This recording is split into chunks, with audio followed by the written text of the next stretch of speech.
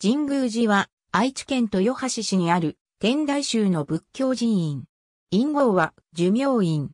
三号は白雲山。本尊は大日如来。龍年寺、御神寺と共に吉田三家寺の一つとされる。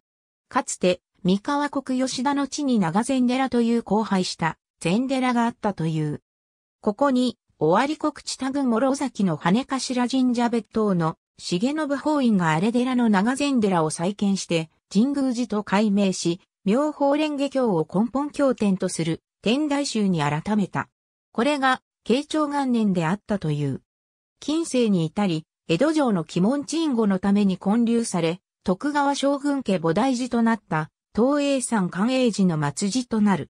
三河吉田藩主小笠原山城守長則は、当寺院を吉田三家寺に列した。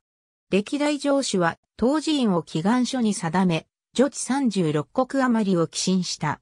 昭和20年6月に、豊橋空襲に遭い、全伽藍が炎上した。